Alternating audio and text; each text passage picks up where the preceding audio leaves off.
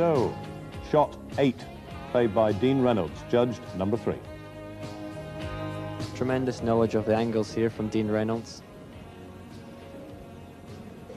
Comes off five cushions before hitting the red. And finishes off by leaving it safe. Tremendous shot. Shot eight, the third choice. In second place, shot four, the Rocket Black by Steve James. Black ball finish. Steve Davis plays what he thinks is a good safety shot.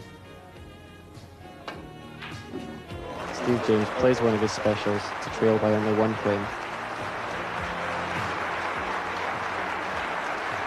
Shot four, judged second. And there's the winner. It's shot three, the plant by Cliff Thorburn.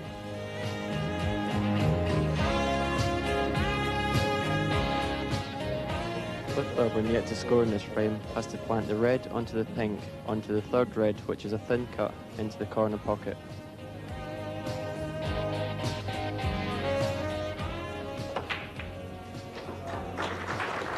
After finishing perfect in the black, the frame is all his. So, you should have had on your card or down the phone. Shot three, shot four, shot eight. That's the winning order for this year's Shot of the Championship.